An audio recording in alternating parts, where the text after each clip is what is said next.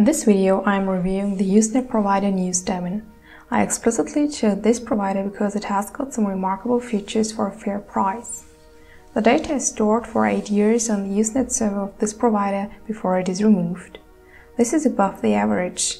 NewsDemon's cheapest plan allows 20 connections at the same time, while the other plans provide 50 connections.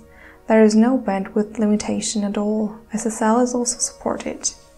The price is quite fair. You can choose either a monthly plan or a block plan. The purchase traffic of the block plan doesn't expire.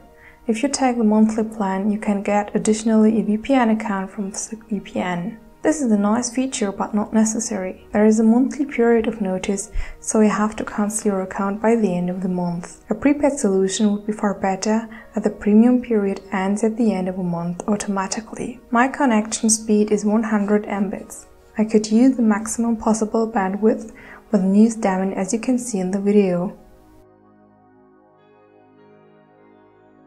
The usage is very simple. You need a Usenet software.